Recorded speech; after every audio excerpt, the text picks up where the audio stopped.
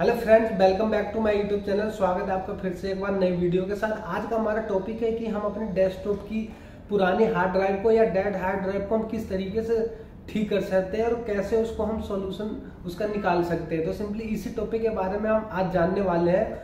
तो सिंपली हम सबसे पहले चलेंगे अपने हार्ड ड्राइव के पास और उसको ओपन करके प्रैक्टिकली देखेंगे कि कैसे इसको रिपेयर किया जाए और कैसे इसको ठीक किया जाए। तो सबसे पहले हमारे पास हार्ड डिस्क को ओपन करने के लिए हमारे पास स्क्रू ड्राइवर होना चाहिए।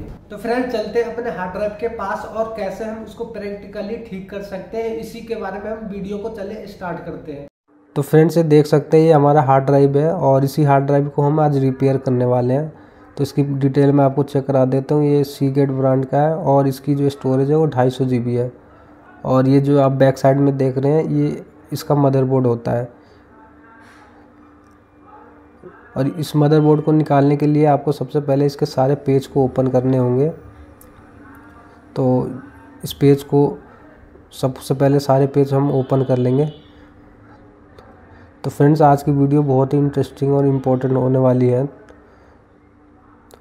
अगर आप हमारे चैनल पर नए हैं तो हमारे चैनल को प्लीज़ लाइक और सब्सक्राइब ज़रूर करें।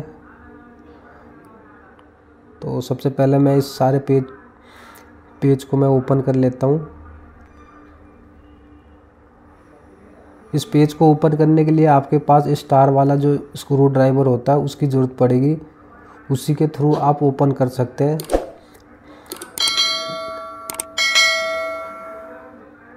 और बिल्कुल ही आपको आसानी तरीके से ओपन करना है, क्योंकि आपको मदरबोर्ड में जो स्क्रैच है वो नहीं लगने चाहिए, नहीं तो आपका हार्ड ड्राइव वो कहीं ना कहीं डेड हो सकता है। तो सिंपली मैं सारे पेज ओपन कर लिया है और ओपन करने के बाद ये पूरी तरह से खुल चुका है और इसकी मदरबोर्ड को मैं इसको हल्के हाथों से निकाल लेता हूँ और देन निकालने के बाद आपको मैं इसकी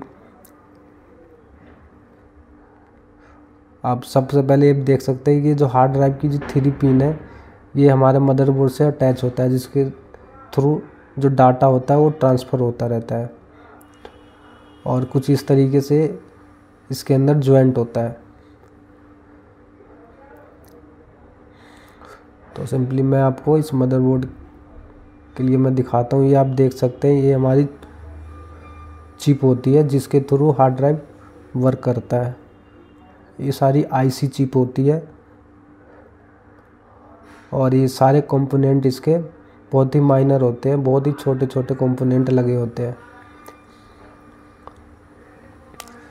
तो पहला स्टेप फ्रेंड्स आपको ये दिखाता हूँ कि आप किस तरीके इसको सही कर सकते हैं। सबसे पहले जो आपकी साटा की जो केबल जहाँ पे आप लगाते हैं, उसकी जो पिनें होती हैं, येलो कलर की आपको पिनें यहाँ पे दिख रही है। इस पिनों को आपको अपने इरेजर के थ्रू, आपके घर में जो रबर होते हैं, उसके थ्रू आप इसको साफ़ करके, इसको अच्छी तरीके से आपको साफ़ कर लेना है। देन साफ़ करने के बाद सबसे पहले इस मदरबोर्ड को आपको फिट कर लेना है और फिट करने के बाद आपको अपने कंप्यूटर में अटैच करके यहाँ पे आपको हार्ड ड्राइव की डिटेक्शन को चेक करना है कि वहाँ पे आपका हार्ड ड्राइव शो कर रहा है या नहीं कर रहा। तो सिंपली कुछ एक दो पेज आपको लगाने हैं, उसके बाद आपको अपने कंप्यूटर से इसको अटैच कर लेना है। उसके बाद फिर भी आपका हार्ड ड्राइव नहीं चलता तो आपको दोबारा से अपने मदरबोर्ड को बाहर निकाल लेना है। देन निकालने के बाद यहाँ पे जितने भी आपको कंपोनेंट नज़र आ रहे हैं, इन सभी कंपोनेंट में आपको करना क्या है? आपके घर का जो टूथब्रश होगा, उसको टूथब्रश को आपको पेट्रोल में भिगोकर और इस पूरे मदरबोर्ड पे आपको चलाना है। सिंपली इस तरीके से हल्के हाथों से चलाना है कि इस मदरबोर्ड पे जो भी कंपोनेंट है, वो डैमेज ना हो और पूरी तरह से साफ़ भी हो जाए। तो आपको हल्के हाथों से इसको साफ़ करना है। और देन यहाँ पे आपको थ्री पिन आपको जो दिख रहा है, इस पर भी आपको ब्रश मार लेना है और इरेजर से अच्छी तरीके से साफ़ कर लेना है। साफ़ करने के बाद आपको इस मदरबोर्ड के पहले धूप में आपको सुखा लेना है। सुखाने के बाद आपको यहाँ पे फिट करना है।